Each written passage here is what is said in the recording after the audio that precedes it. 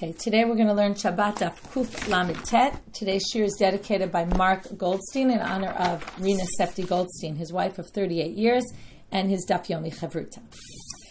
Um, we're now going to start. We ended with this very interesting topic of a machloket between Rav and then based on the Tosefta about that there will come a day when Torah will be forgotten versus Rabbi Shimon Bar Yochai, who said, "No way is the Torah going to be forgotten." And what really is going to be forgotten is this halacha bura and mishnah bura. First of all, the Mishnah Brura gets his name from here.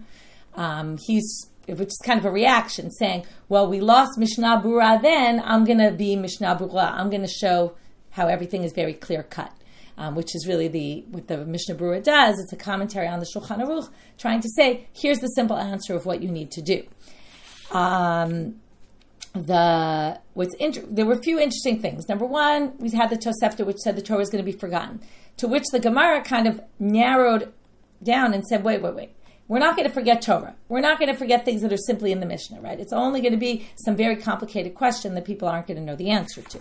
And then again, Rabbi Shimon Bar Yochai wanted to say there's no way the Torah is going to be forgotten.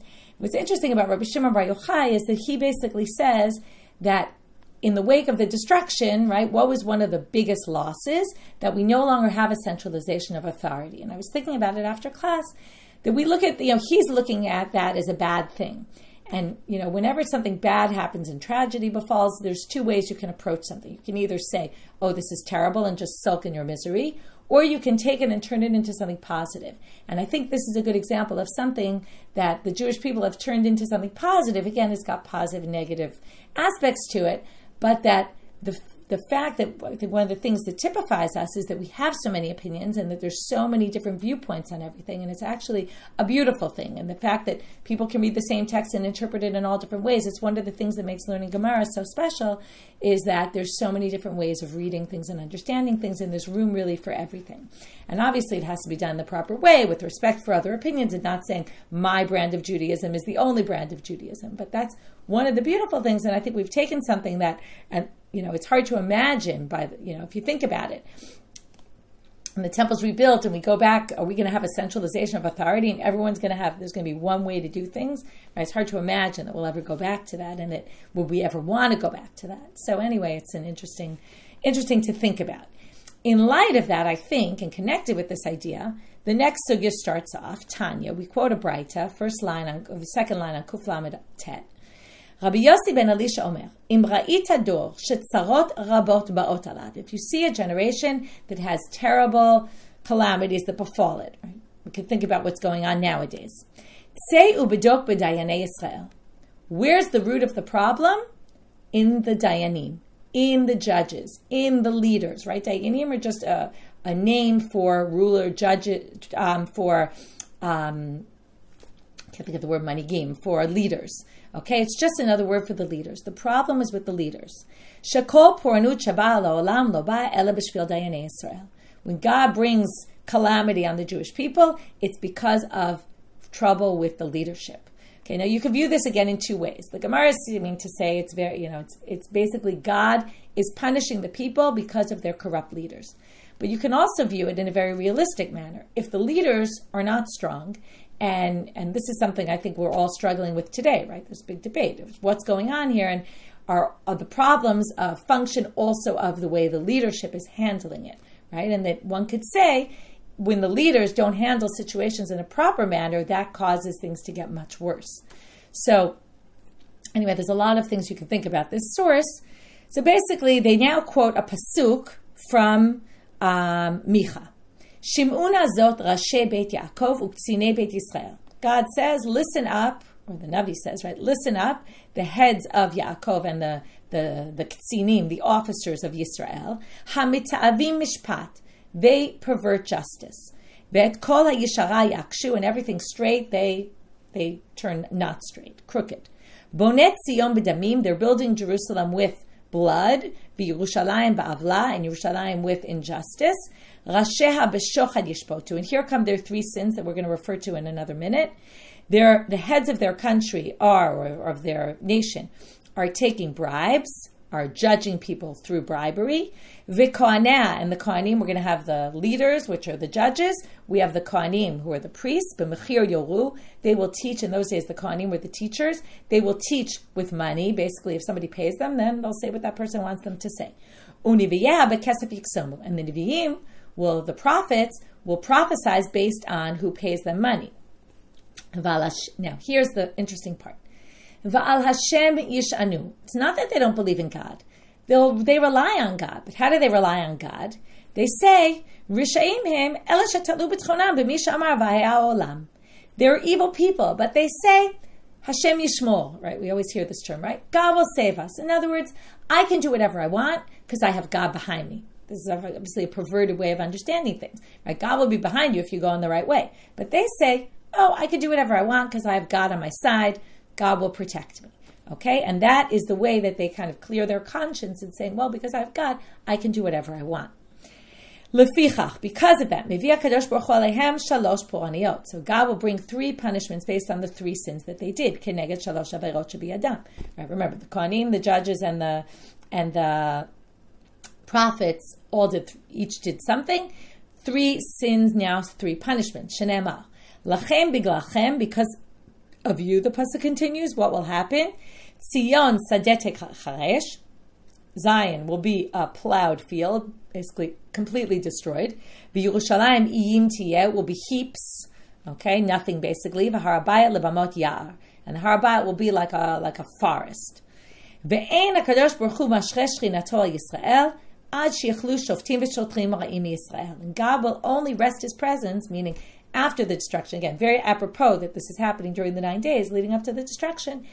So he says, what will what is the way to basically bring the presence of God back when you get rid of bad leaders, okay, bad judges, bad bad policemen. שנאמר, ואשיבה ידי עלייך ואצרוף כבור סיגייך ואסירה כל בדילייך ואשיבה שופטייך כבראשונה ויועצייך כבתחילה.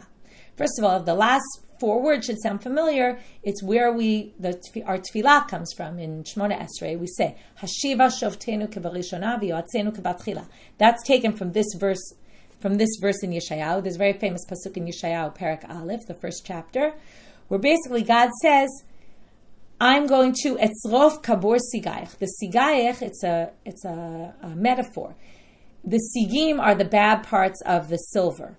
Okay, it's the um, God is going to basically, at Tzrof, is to purify. He's going to purify like bor. Bor is like borit, it's with lye, it's cleaning material. So I will clean out the sigim, va'asira kol and I will take out all of the lead that's in mixed in with the silver. In other words, again, all the bad stuff I will clean out. Right? It's like taking out the bad from the good. It's kind of like borer. And after all that's done and all the bad is wiped out and it's all clean and pure, then I can bring back the shoftim and the yoatzim, the, the advisors, like in the beginning. That's the only way to do it. Amr Ula, Ein Yerushalayim nifteala b'tzedakah. This is the next verse in Yeshayahu. Jerusalem is only redeemed with righteousness. Shanemar tzion b'mishpat tivpadeh b'shaveh b'tzedakah. Okay, it will be it will be redeemed through righteousness um, and good judgment. Amar Papa. Okay, he's going to explain this pasuk in a little bit of a different way. Asiva um, uh, etzrov kabur sigayich v'asira kol b'dilayich. He views as two stages: first one and then the second one. So how does he explain? Ibat le yehire, bat le amgoshe. Ibat le dayane, bat le gazir pete. If you get rid of the yehirim, the yehirim are the arrogant leaders. If you get rid of the arrogant leaders, then we'll be able to get rid of the Persian the magicians. They were these magicians or prophets of the Persians that were causing problems. First, you have to get rid of again. It's the same thing. First, you have to get rid of your own in order. This is again. I think it's a. It's more not that because you did that, God will help you with that. It's it's got two levels. Number one, God will help you. Number two, again, if you get rid of corrupt leadership, you'll be able to fight against your enemies properly. If you don't have good leaders, then it's very hard to fight against your enemies.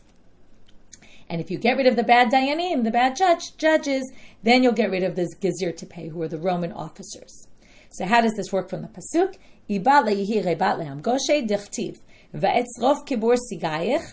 which means if you get rid of the sigim. Now here they do a play on words. Sigim is with the samach. but it's like sigim from niskavim, segev in with sin gimel bet. That root means to be high, high above. So the ones who are arrogant, who are high, if you get rid of those and you get rid of the kibur sigayach batle, then you'll get rid of the amgoshim.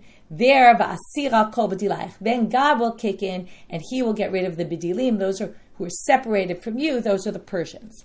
Okay, that's how they understand the pasuk. Um, and ibatale dayane.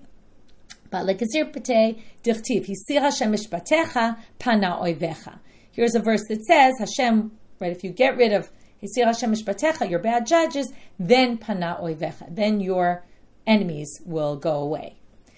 Amar Rabbi Melai Mishumar Belazar Rabbi Shimon. My dichtiv shavar Hashem mater reshaim shevet moshlim. What is this mater reshaim? The staff of your of the bad people and the staff of the the rod of the rulers. So shavar Hashem mater reshaim elo hadayanim. This is a reference to dayanim, the the mater reshaim, the staff of the wicked, is the judges. Why are they called Mateh Dayanim, uh, Mateh? Shanasu Makel Lechazanehem. There's a few different interpretations. Rashi seems to say that what happens, their Chazanim, the advisors basically rule them. Okay, they give their their staff to them. Okay, they say basically whatever the Chazanim tell them to do, this is what they do. They don't really think for themselves, and they're just ruled by their underlings. Shevet Moshlim, what is that? Those are the rod of the rulers, Elu Talmidei Chachamim. The rulers are the Talmidei Chachamim, and it's Shebemishpechot HaDayanim. These are rulers, um, these are, sorry, these are um, Talmidei Chachamim, wise men who, what? They're family members of the judges, and what happens? They protect the evil judges because they're their family members. So even though they're really bad, they kind of protect them and say, oh no, what they're doing is right, and, and they make them look good. And that's, you know, again, that's describing a corrupt system. Marzutra Amar, he has a different interpretation. Elu Talmidei Chachamim, he thinks they're Talmidei Chachamim, but not ones that are in the family of the of the Dayanim, but Shemalamdim Hilchot Sibor LeDayanei Bor. What do they do? Now this, some people say that they, there's two different ways of understanding this. Either the Talmidei Chachamim are part of the problem, or they don't realize what they're doing is causing problems. So either, let's say they're part of the problem, they're teaching these Dayanei Bor. What's a Dayan Bor? It's, it's like an oxymoron. It's a Dayan who doesn't know anything, right? Generally, we think Dayanim are people who are knowledgeable.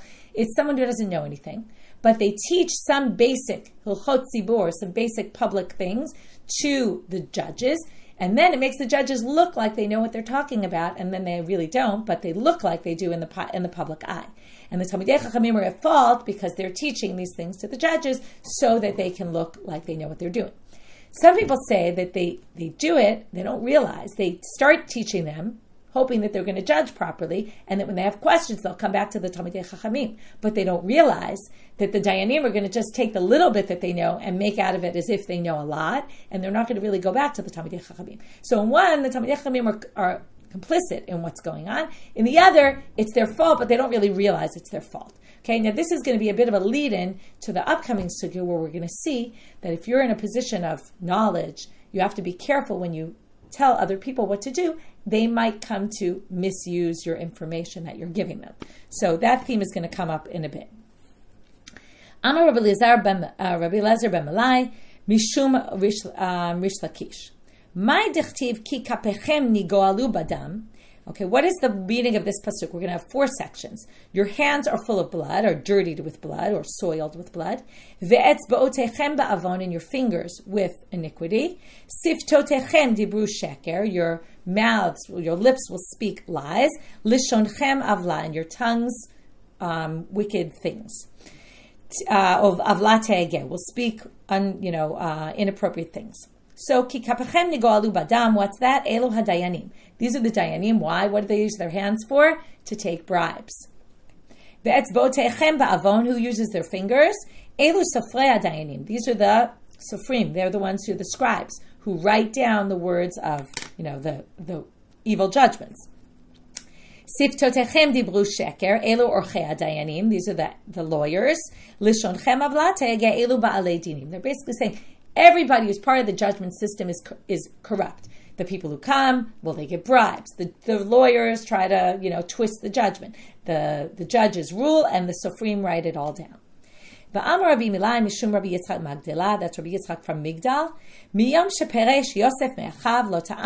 yayin. Okay, now it seems like we're getting off on some tangent, although I think I can connect them pretty easily when we finish. I'll show you.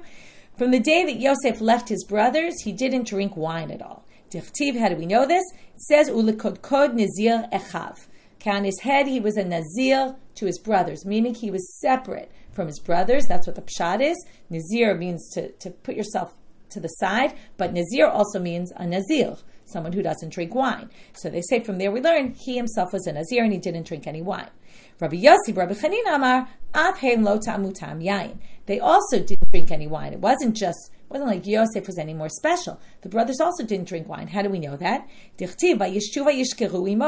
It says the second time the brothers come to Egypt, it says before the whole thing happens with Binyamin, and they put the, the cup in Binyamin's bag, the goblet. So it says they sat and they got drunk with him. So what do you see? It sounds like they weren't drinking until then. It was like, a, oh, they hadn't drunk in so long.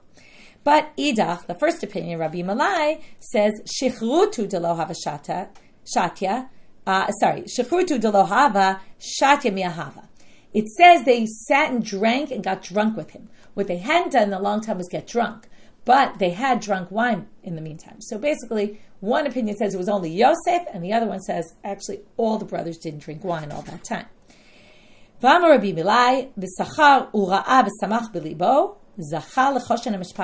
Another leader who is unique is Aharon. When it says that Moshe, when God tells Moshe, go to, in the beginning, when he says you're going to be the leader and you're going to tell Paro, etc. You're going to be the, the, the, you know, and, and what does he say? Aaron's going to go with you. And he says, when you go back home, you'll see Aaron and he's going to be happy for you. And what does that mean? He's going to be happy for you? Normally, what would you expect? He'd be jealous. Why wasn't I chosen? I was the older brother. So instead of being jealous, and we saw that all throughout Bereshit, right? But instead, he was happy for him. And because of that, he got Choshen Mishpat on his heart. Right? It's a good sign if in your heart you're not jealous. Therefore, he gets rewarded that he gets to have the Choshen Mishpat on that sits on the Kohen Gadol's heart. Okay, so what, what's the connection of Yosef and Aaron? Obviously, they're trying to foil everything we said until now with, and these are examples of good leaders, right? Ones who don't drink wine, ones who don't have jealousy in their hearts. Right? These are the proper attributes of the true leader. Okay. Another reason it could be here, by the way, was just because we were quoting statements by Rabbi Milai, so they quoted other things that Rabbi Milai said. Right? He's not the most common. He doesn't speak up a lot in the Gemara. You don't hear him very often. I don't even know. I don't remember where else he comes up, but um, he's definitely not one of the most common people. So maybe once they were bringing up statements of his, they brought up others. But again, this is clearly connected. Okay, now we're going to have, like I said, we're going to get back to this issue. We're moving on to another topic, although it's connected with the previous, which was about the kila, building this canopy bed um, putting the sheet up on top. So it's connected in that way, but it's also connected to the idea of people, when people teach halachot, they have to be careful what they do because of how it might be interpreted, misinterpreted, or what it might lead to, as we call the slippery slope.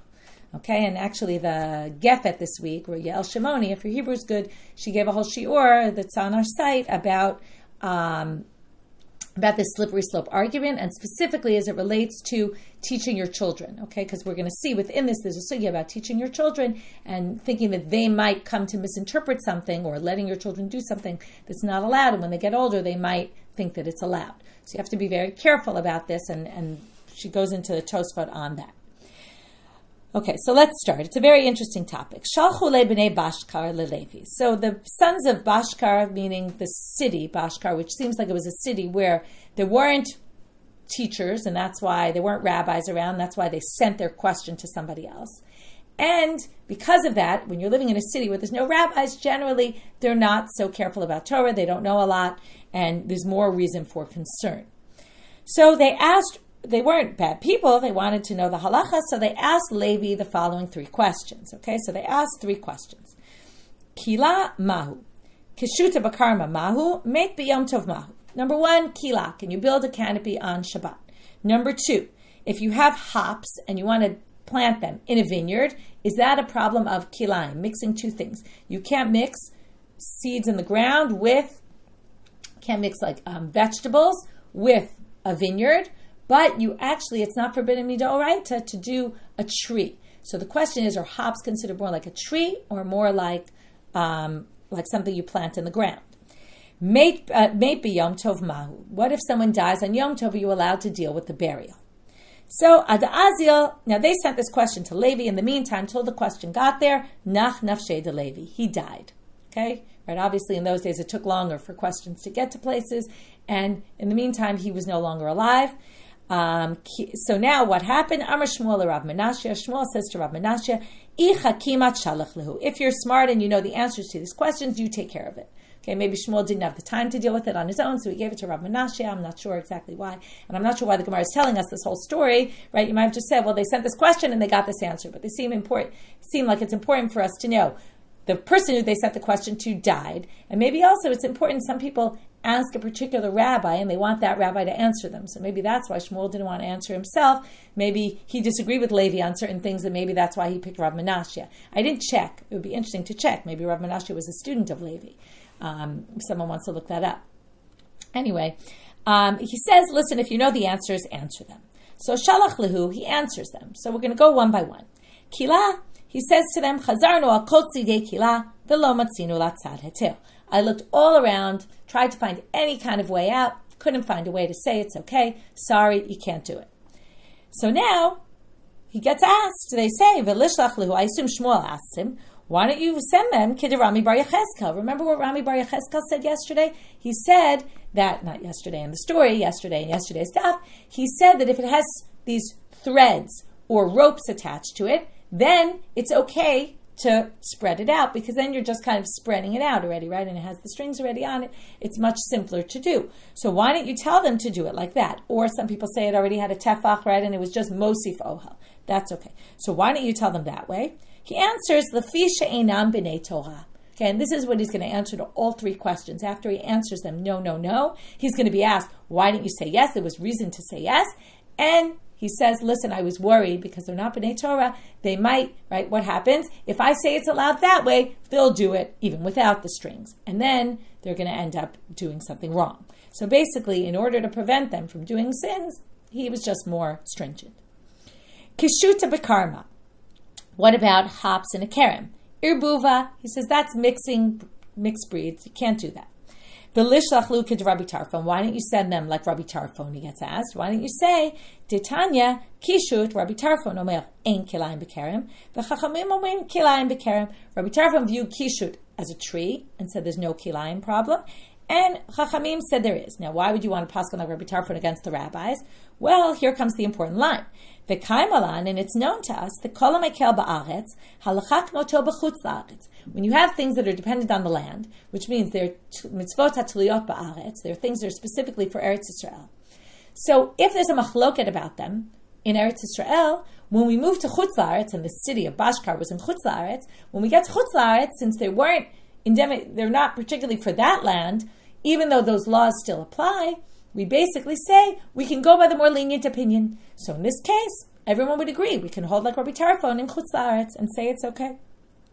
So again, he answers the fisha enam b'nei Torah. Since they're not b'nei Torah, I didn't want to tell them because I was worried that they would make mistakes based on that. Right? They might think if you can put this in the ground, then you can put other things in the ground and plant it in, in the vineyard. Machriz, now we're going to see a bunch of ways that people dealt with this issue. If they wanted to plant the hops, how did they do it? We're now a bit on a tangent. Machriz Rav, he basically announced, Hi Mandibai Mizra Kashuta Bakarma Lizra. He said, we don't hold like Rabbi Tarfon. Anyone can do it, or I'm sorry, we hold like Rabbi Tarfon basically. In Chutz basically what we just said, he taught to everyone you can do this, okay? Against what Rav Menashe said. Of course, Rav Menashe was only saying it for those who were not B'nai Torah, but he basically announced one can do this. Rav Amram Chasida Mangid Ilaveh.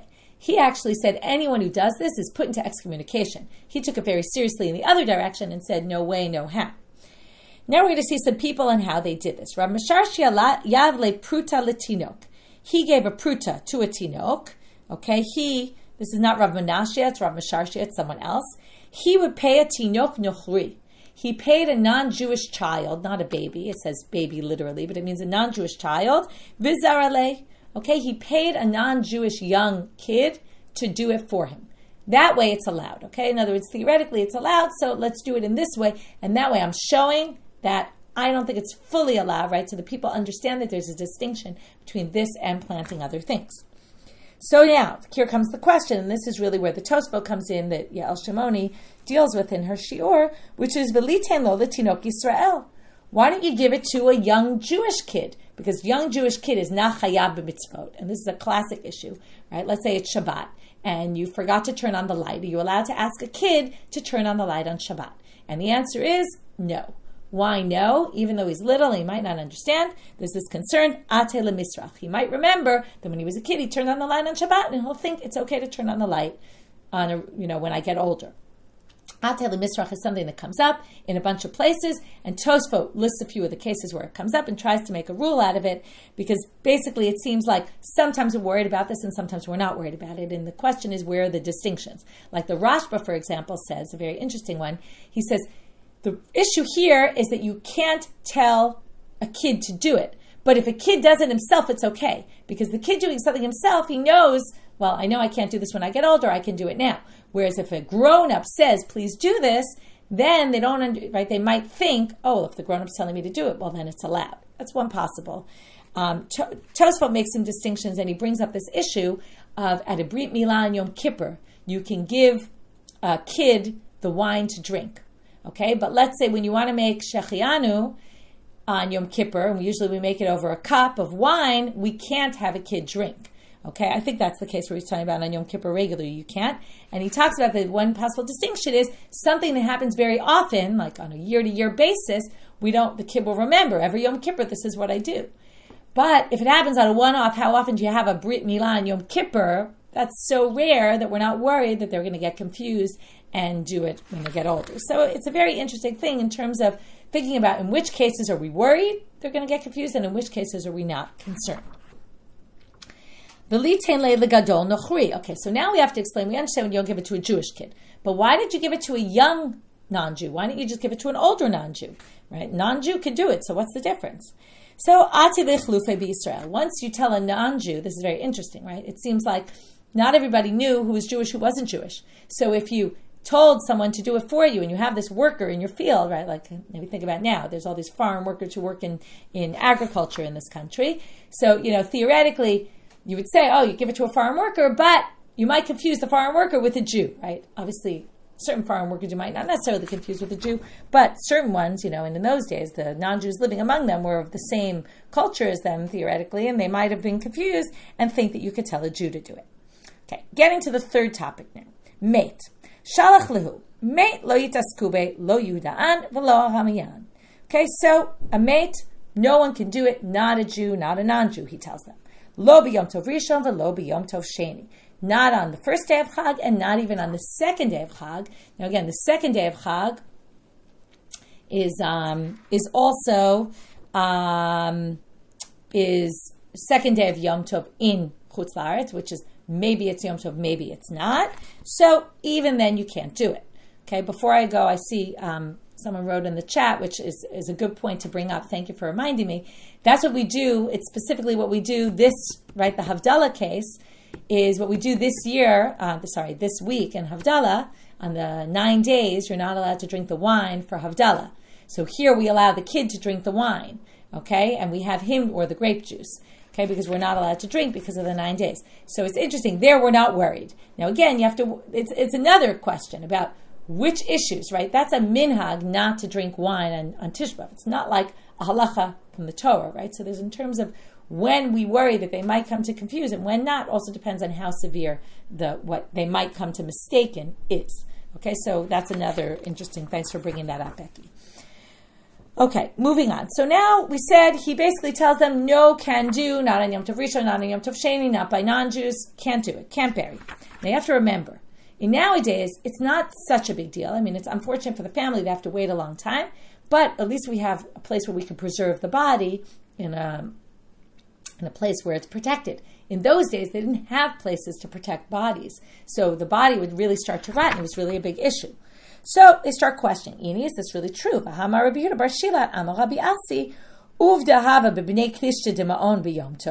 a, a, thing happened. If you remember, we had it the other day when the baby died. They said uvda, that, like a thing happened, almost like they didn't want to say that somebody died, but basically means somebody died. Samuch Shabbat. It was it was close to Shabbat. V'lo yadana, meaning it was Yom Tov. That was next to Shabbat. V'lo yadana imi Not clear whether it happened on Friday or it happened on Sunday. Either which way, it happened on Yom Tov. That was next to Shabbat, so you're ending up with two days, or maybe even three days. The to Rabbi Yochanan. Oh, this must have happened in Israel, so it obviously wasn't in. Uh, it wasn't two days of Chag. But to the Kamei to Rabbi Yochanan. He said, "Let non-Jews do the burial." So why are you telling them they can't do the burial when Rabbi Yochanan allowed it?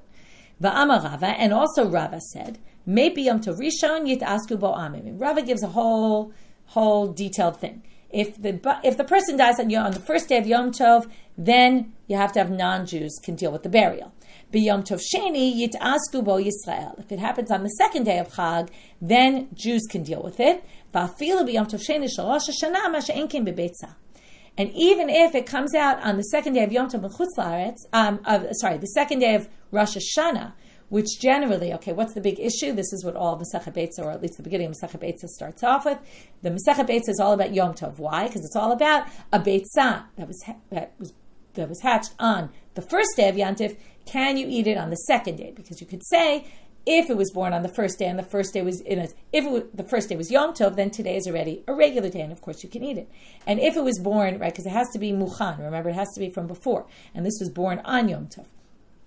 Other and if the second day is really Chag. Well, then it was born on the first day, and the first day wasn't even Chag, it was Chol. Right? Remember, we have two days because we're not sure which day is actually the holiday because of the whole issue with in Israel, they determine when the new moon was, but people in outside of Israel didn't get the news so quickly, and therefore they never knew which day it really was. So now he basically says the two days of Rosh Hashanah are different. They're a whole different thing, and we'll get to that when we get to it later. But the whole Rosh Hashanah is considered what we call Yom Arichta, one long day. And it's not safek one day, safek the other day. Okay, and that's because even in the Beit HaMikdash, they didn't know whether it was going to be two days or not because they had to wait till the witnesses came. And witnesses theoretically come by the, by the time they got there in time. It could be a very long time. So basically, we have to. Uh, we have to, right? Sorry, I said hatched. I meant laid the egg, not hatched. Um, if the egg was laid, Thank you for the correction. Um, so anyway, we now have that the two days of Rosh Hashanah, when it comes to burial, are treated like the two days of Yom Tov in Galuyot for the purposes of burial, meaning a Jew can bury on the second day of Yom Tov. Okay, so now what do you see? They made all these dispensations. You know, either you could do non-Jews on the first day, you could do Jews on the second day. So why do you say no? They can't do it. And obviously his answer is going to be Lafisha Einam B'nai Torah. We're worried about them because they're not B'nai Torah. So because of that, we're basically going to say, right, he was very stringent for these people because he was worried about if I allow them to do this, then they'll do more. Okay, and this is classic. We all know this to be the case that that's what happens, right? People see, oh, if you can do this, well, then I'll do less. Rabbi Avin and then the question is, how far do, do we have to go like he did, or you know? And then obviously it's very specific about what things we're worried people will misconstrue, and, and obviously, again, it depends how severe it is. Like with this drinking wine on for Havdalah during the nine days, we're maybe not as worried, and there, right? There's two things here. One is about teaching your children, and one is about teaching to a congregation of people who are not necessarily strong in Torah or don't have rabbis to kind of keep them in check you know, or, or knowledgeable people living around them who could correct them if they go off to the wrong direction.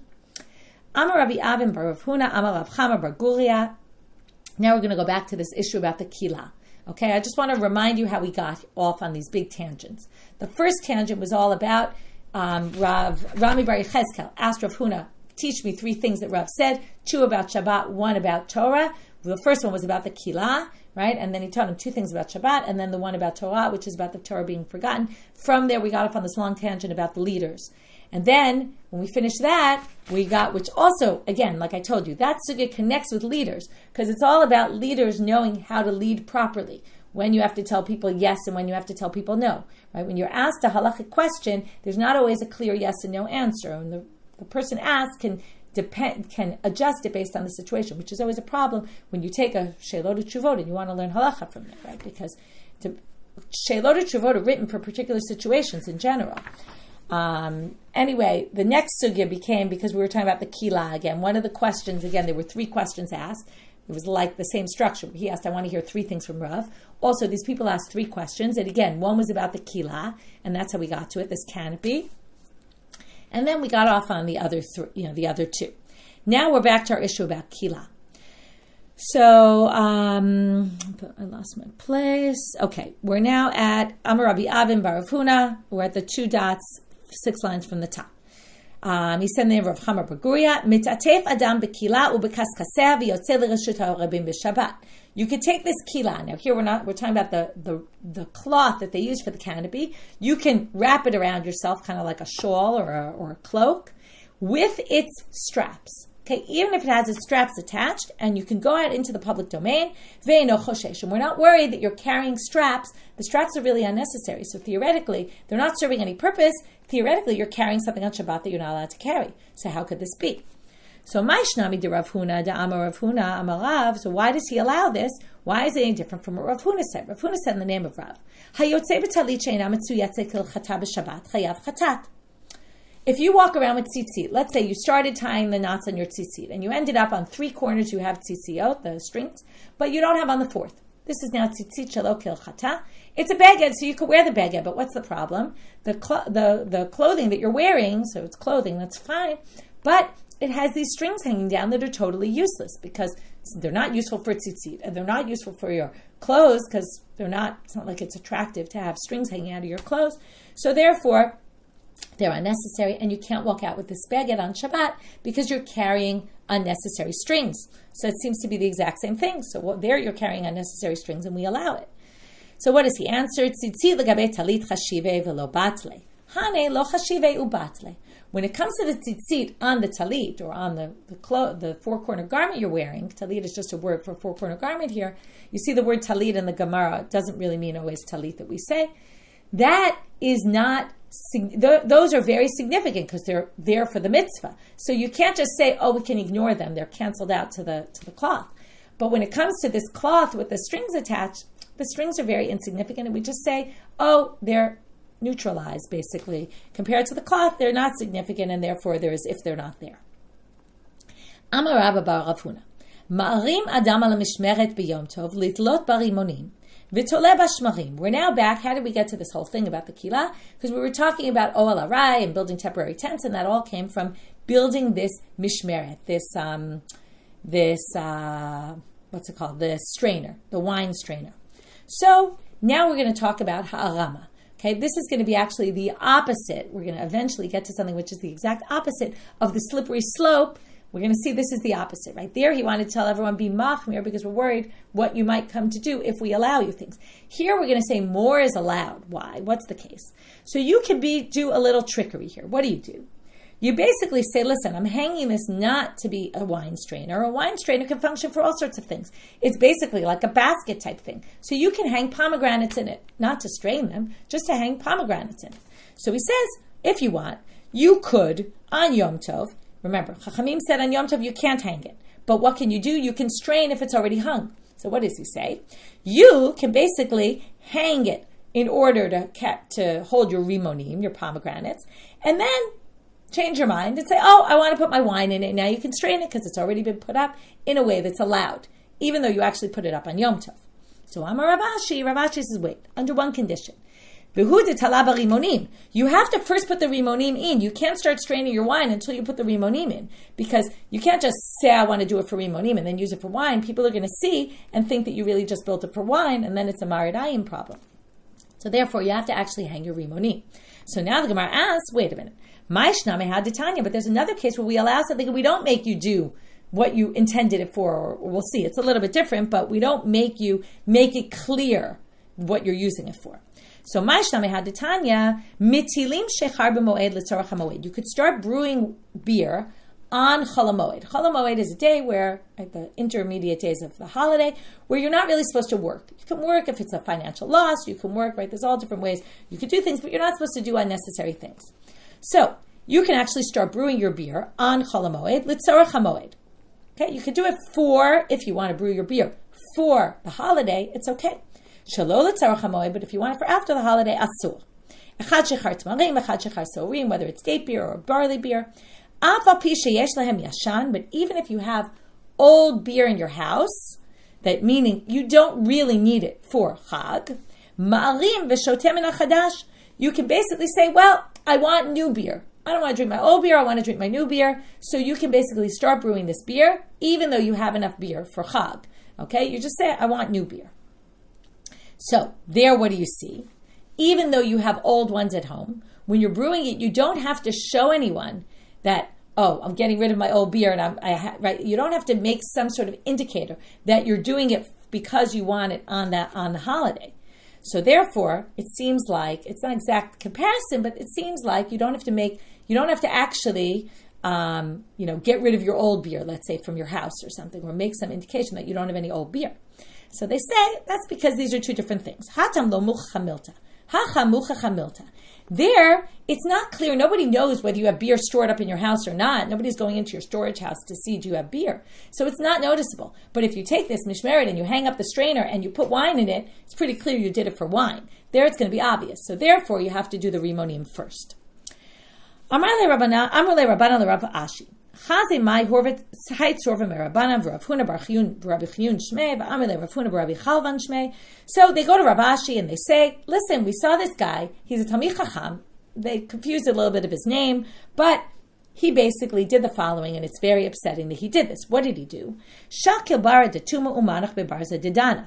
He took a slice of garlic and he stuck it to seal up a hole that he had in this opening where the spout was of the barrel. He stuck it in the spout to basically close it up, which is a problem of it looks like he's mitaking kli. It only looks like because nobody really fixes a utensil with food. They're obviously going to take it out and it's temporary, but still it looks like he's fixing a, a utensil, which is forbidden.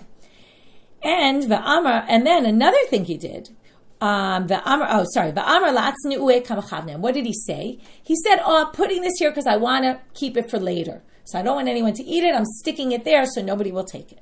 Right? It's good tactic. If you're in my house, there's always people have things that they make or that they want to eat that they don't want anyone else eating. Right? So you have to stick it away somewhere. The Azal Another thing he did, he went into the ferry boat and he and he went to sleep. And the owner of the ferry boat came, took it the ferry to the other side of the river. V'siyar peri, he went and checked his fruits that are on the other side of the river. Va'amar, and he just said, "Oh, kamachavne." Oh, I was just going to sleep here, right? I needed a nice place to sleep. Happened to be, I took the ferry. You know, I went into the ferry. Oh, it took me to the other side. Oh, now I can get out and look at my fruits. So he obviously used what we call harama here, and it seems a little weird. The rabbis weren't so happy with this. So Amarle, Amarlahu, Rav Ashi says to them, Harama Kamra, what? You're worried about Harama? Is that what you're concerned, that he used trickery here? Harama Dirabanani. These both are on Dirabanan issues. We're not worried, and if it was a don't right to issue, it would be a problem. But both the things that he did were only Dirabanans. And he is a Talmid Chacham. When it comes to a Talmid Chacham, is the exact opposite of the She'enam B'nai Torah. What's nice here is the sugyot theoretically aren't really supposed to connect, but they all connect right? It's saying when it comes to a Talmid Chacham, we're not worried he's going to think that it's okay otherwise, and we're not worried that he's going to accidentally do what the whole concern is. So harama is allowed for Talmid Chacham, where it's not necessarily allowed for other people. And this, by the way, if you want to really connect it, once we have special dispensations for Talmidei Chachamim, you can see why they might become arrogant and it would cause problems with the leadership. So there's a bit of a cyclical thing going on here um, between all the sugyas. Okay, continuing. Mishnah. נותנים מים על גבי השמרים בשביל שיצולו, מסננים את היין בסודרים ובכפיפה מצרית. This is a case of, we all know there's what's called a Brita water filter. Can you use that on Shabbat, right? Where you pour theoretically clean water, but you put it in a filter because it's not clean enough. You want it to be even more clean or using any kind of water filter on Shabbat. This is allowed because you could drink the water otherwise. So therefore, you're not really taking out anything. It's already clear. The wine has already been been uh, strained. So you can take wine that's already been strained and you can do it in sudarim, like on a cloth. Okay, not in the mis- uh, not in the mishmeret on Shabbat, because we just said you could do the previous Mishnah, but you could do it on a cloth in a bit of a different way, and kfifa mitzlit in a basket, this Egyptian basket that was made out of um, um, palm fronds. We learned this already about the egg. We'll talk about it more tomorrow. You could put it in the um, the mustard strainer. V'osin omalim b'shabbat. Uh, anomlin. It was a mix. They would mix wine, some sort of drink they made with wine. You can prepare it on Shabbat. Rabbi Yehuda Omer b'Shabbat b'kos b'yom tov b'lagin u'b'moed b'chavit. Each day has a different amount you can use. On Shabbat, you could do only a cup's worth. On Yom Tov, you could do a lagin. I assume it's a, it measures a log, okay, which is much more than a kos. Ubimoed, on Cholamoed, you can even do it in a barrel. Rabbi Tzadok Gomer Hakola Orchim. He says it all goes by your your um, guests.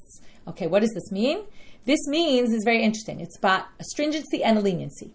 It means that if you have a lot of guests, then even on um, even on Yom Tov, even on Shabbat, you can do more. But if you have fewer guests on Chol let's say, you can't do in a big barrel. So it goes in both directions. Although some people think he's only talking about Chol and he's not even talking about Shabbat. He doesn't allow you to do more on Shabbat. There's a debate about his opinion. Amr Ze'eri. Ze'eri says. You can even put clear wine, wine that's already been strained, you can put in a strainer, or water you can put in a strainer, and you don't have to worry. Lo, but not if it's sullied waters or sullied, you know, or wine with the dregs. They say, but this contradicts the following source. From Shim ben Gamliel Omer, Tored Adam Chavit Shel Yain, Yena Ushmareha, okay, you can mix up the wine in a barrel, it and all its dregs, and you can put it in the strainer and you don't have to worry. So Tirgum Ze'eri, Ze'eri says, no, that's Ben Hagitot Shari only when you're in the wine press. Okay, there's some different opinions about why. Some people say because when you're in the wine press, before it ferments, people will actually drink it with the dregs, right? The dregs only become disgusting after the fermenting process. Nobody wants to drink them. But if you drink, have some dregs of grapes when they're fresh, it's really not a problem.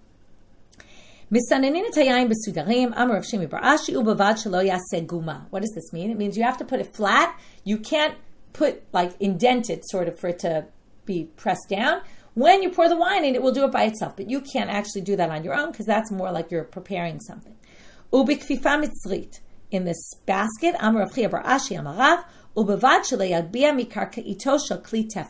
You have to make sure what happens. You put this basket and you want to strain it, so obviously there's something underneath it. There can't be a tefach of space between the kli, the utensil that's underneath that's catching the wine, and the basket. Why? Some people say because that creates a tent then and you're making it an OLRI. Once there's a tefach, there's already space, then it's like a tent. Other people say it's because you have to do it with some sort of shinoi, some sort of change from the way it's typically done. Amarav, hai prunka, apalge de kuba share, akula kuba aser. If you want to put a cover on a barrel, you want to stretch out this piece of material on as a cover, you can only cover it part way and not the whole way. Some people say we're talking about something that has, it's not clear exactly what it is. Some people say it has holes in it, and we're worried if you stretch it the whole way, people will think that you're making some sort of strainer, which would be a problem. Amar Papa. Last thing for today, you have to remember that Rapapa, they brewed beer in their family, and here you're going to see it.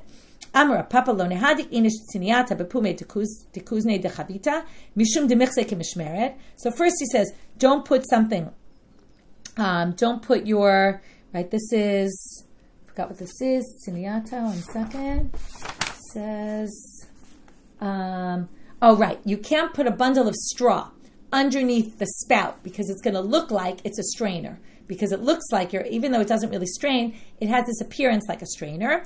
And then he says, Debera Papa, in his house, Shafu Shichra Mimana Lamana, they would pour beer from one kli to another. Right? If you want to get rid of the dregs, what do you do? You start pouring from one to another, and in that way you end up with clean beer. But when you get to the bottom, you're ending up really separating. As if you do it like that, it's not really separating. But when you get to the bottom, then you're really separating the dregs from there. So what do they answer? Obviously,